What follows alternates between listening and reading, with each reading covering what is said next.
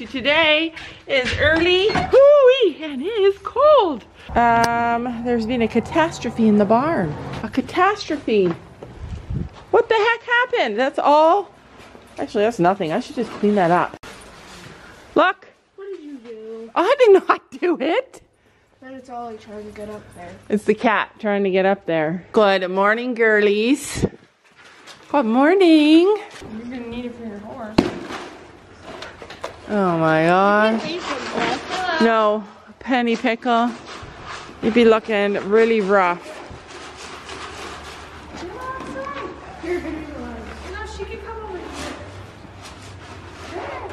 Go. Hurry up before, just give it to her because if Penny eats all hers, even though Penny's a slow eater, before she eats hers, so if you guys are wondering what kind of grain we give, we just give vitamin grain. She always bites holes in her bucket. I know, she's a bu- hole biting bucket. No, a bucket biting hole maker. That's what she is. You don't do that. You wait until she puts it down. Those are the rules, Missy. All right, go ahead. No. there you go. Whoa, whoa, whoa. Fastest eater here though. So yeah, she is can- fast. She can wait. See the little hole? Like she's had so many buckets and she She just had like three. yeah, and she just did bites holes. And I don't, we don't even leave it with her for like more than five seconds. No matter where she moves, Gabby says, she ends up with a pylon at her feet. It's a magic trick. Watch.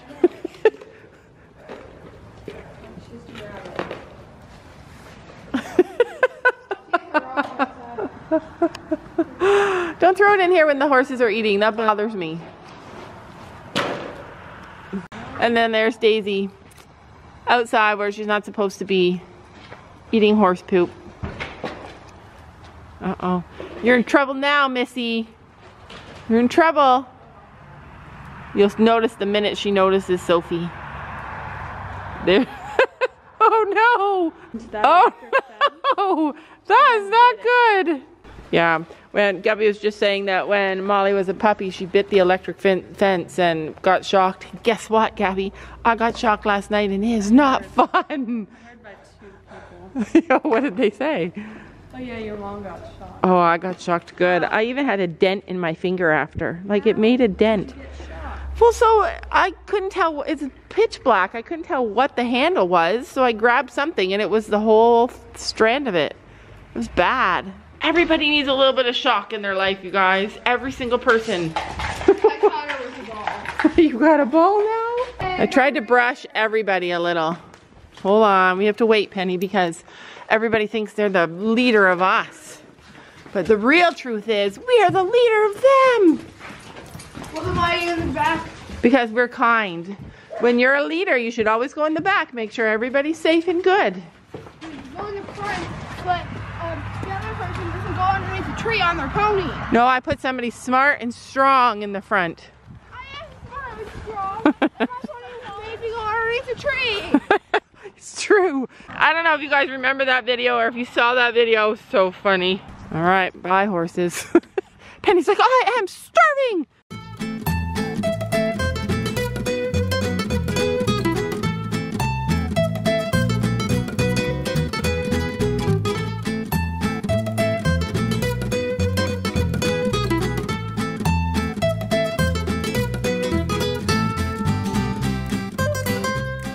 That, my friends, is how cold it is outside. That is cold. But it's true, there's this video on our channel. It was a couple of years ago when we first started doing trail rides, which I wanted this summer to be about trail rides, but summer is starting to be about show season. And next year, we have big plans. But just wait, but anyways, okay. All right, this is gonna be oddly satisfying. Hmm.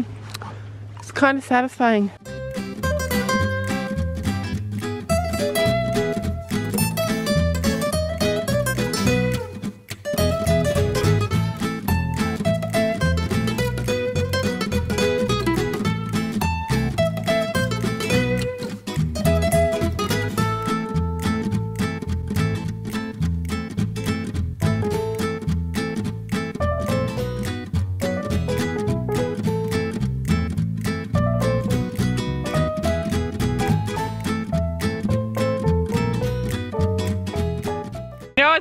Horses be running and moving fast. They're like, oh, I need to warm up. I it's cold oh when my dog doesn't follow me up to the house because she's eating ice. oh, she's coming. Anyway, a couple years ago when we first started, like Sophie probably was nine, maybe nine, maybe 10. I tried to do more trail rides and we went on this trail ride. I think I was walking, maybe, yeah, I was always walking. Anyways, I, we went on this trail ride and Sophie was scared and nervous, but she was actually brave that time. And she was going first and the tree was down and we had to turn around. you couldn't really tell and Finn walked underneath the branch because it was just Enough for the just enough room for him and Sophie almost got decapitated. she bent right back. My ponytail touched his butt like always wants me um, I wanted to take a minute to address the elephant in the closet. Gabby, you are the elephant in the closet. Are you in the closet? What? I don't even know what I'm saying. So, the question, It's elephant in the room. But elephant in the room. Oh, I think I just mixed up two different things that mean completely different things. Okay, so everybody wants to know, is Gabby getting Finn? Is Gabby getting a new Finn?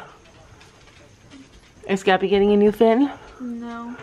Do you want a new Finn? No. yeah. Gabby's obsessed with Finn. If you guys didn't see the video, I'll be putting up a TikTok about him soon. But there's a new horse in town. Gabby rode him. She's been riding horses because we don't know what's happening with Chino. Like, he has his flat feet and thin soles, and we're working on figuring it out. And he's doing fine right now. But he's not super reliable. And he kind of doesn't really care about stuff, like doing stuff. He's not competitive. He's not driven in any way. So we have been entertaining the idea of a lease or another buy or I don't even know. But Gabby's been trying out horses to see if there's another horses she can ride if her horse is not available at the time. We haven't given up on her horse. We have plans for her horse. Like, we're just trying to figure things out. But I should tell you guys that long ago, before we got Chino, I had this dream. She was riding this new horse of hers, and we were all excited, and I was watching her, and I knew it wasn't gonna be the right horse. Even though we bought it, I knew it wasn't gonna be the right horse. I knew it in my dream, and I, I said to Sam, like, when we bought Chino, like, he's not gonna be the right horse, but I don't know what to do, because in my dream, she was riding a horse that wasn't the right horse. So, do you just not buy the wrong horse? Or do you let the dream happen? Like, I don't know. So anyways, we bought the horse and I'm like, I love him. He's totally capable of being the right horse. I don't know. It doesn't seem to be competitive. And then he just always is got feet problems. And in my dream, she was riding another horse. It was the horse that comes after, the very next horse that comes after her new horse.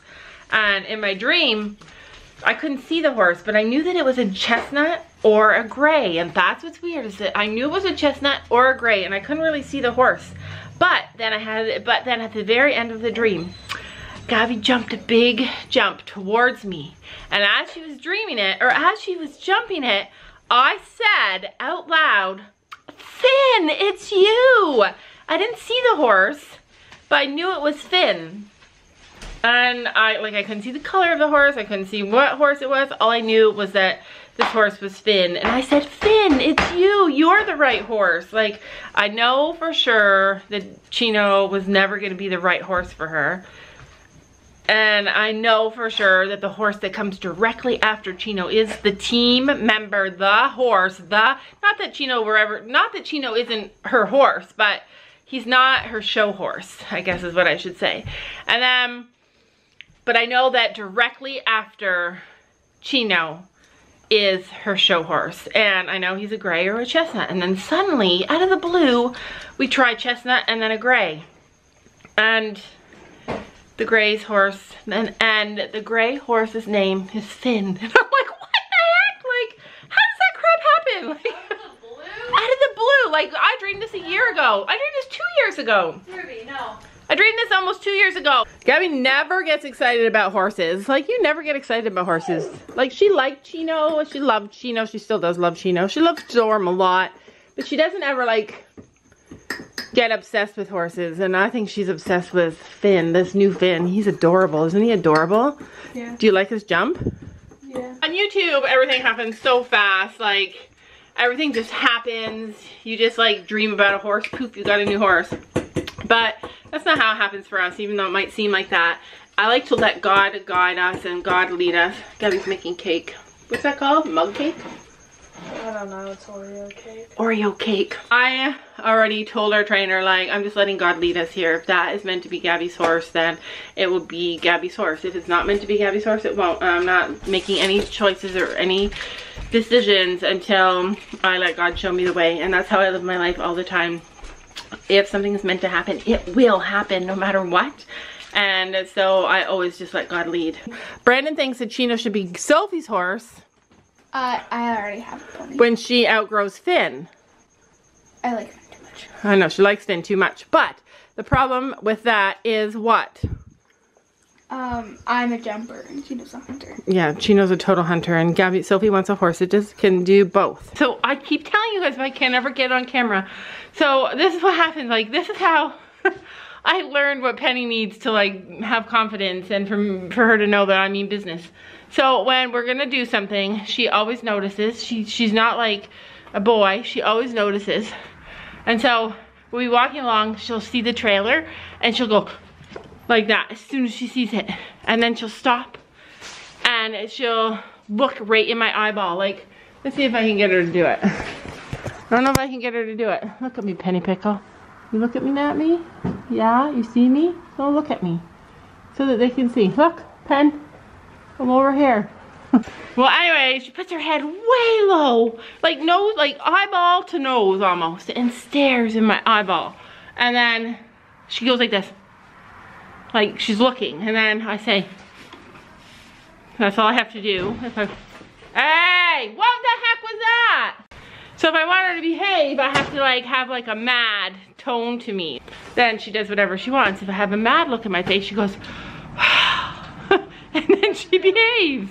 Like it's so weird. Is that weird? Is it weird? The reason that that's so good is because she always knows, like she always asks me so she understands what I want and then I can see when she understands what I want. Like she tells me, okay, I understand. And once I know she understands, then I know we won't have any problems. Like it's weird, you guys. I've never seen any of our boys ever do it before. I don't know. Comment below all your experiences of your horse talking to you.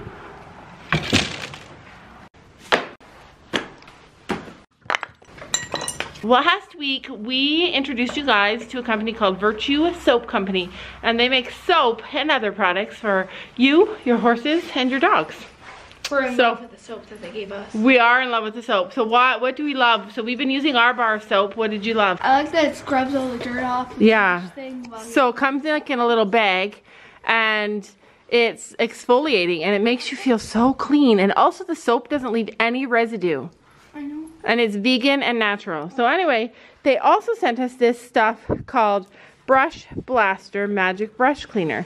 And all you do, apparently, is it cleans your brushes like magic. And you drop it in a bucket of water, throw your brushes in, wait until the fizzing stops, rinse, and done. So we're going to try it today, and show you guys. So it's like a bath bomb, but for brushes. Yeah. So we're gonna try it because we have a contest going on right now where only where one of our subscribers, just our subscribers, have a chance to win this beautiful Christmas basket from Virtue Soap Company. And it's just in time for the holidays. Such an awesome opportunity. And they are giving it to, they're giving away this basket to one of our subscribers. So uh, I saw that they had the brush blaster in the basket. So we're gonna try it and you guys can see it before you have, before you even sign up to win.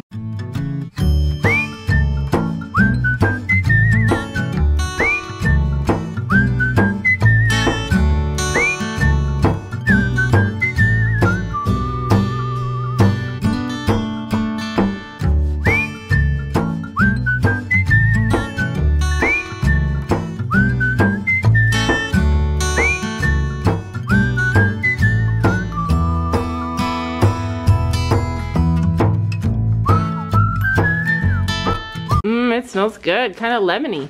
I got it all over my face. Yep, we got it all over her face. And all over the ground. So we may have been adventurous and put too many brushes in our bucket with our blast blaster. Wow, look at oh, that. It's dissolving so It's dissolving so fast. Mmm, it smells like lemon. I don't know, you guys. Our brushes are pretty dirty for this claim of it being a good... Mm, it smells like lemon, though. Oh, it feels good. They have non-residuey kind of stuff.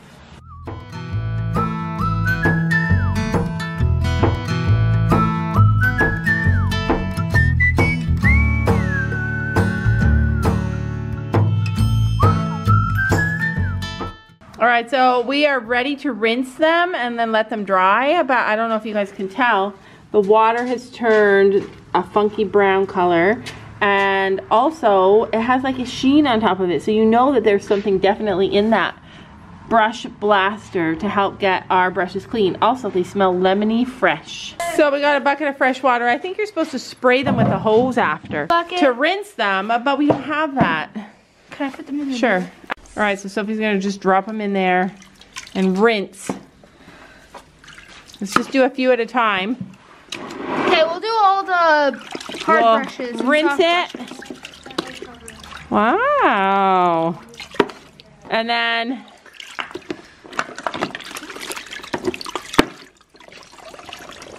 they look clean. So the hair didn't come off, obviously. We should have like de-haired them before. But they look good. All right, so this brush, you guys remember, was super dirty. And look at the silver on it. It's like shining clean. This is a hoof pick. It looks beautiful. And this pink part was all dirty. I love it. I bought more of these. Clean. Super pretty. Almost like brand new again. Wow, look at that. Oh, that looks clean. Absolutely amazing. It worked really, really, really well. Typically what I do is take all of our brushes up to the house, put them in the sink, scrub with like SOS pads and and stuff to get them clean and that stuff actually cleaned them and then you have to rinse them and then they come clean. You can see the color of the water was so black.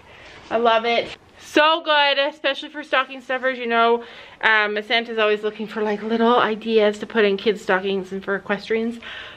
Brush Blaster is the way to go. If you want an opportunity to try and win our basket that um, Virtue Soap Company is giving away with a brush blaster in it, then there's a link in our Instagram page. You can see the basket all beautiful there and you go there. Go follow Virtue Soap Company.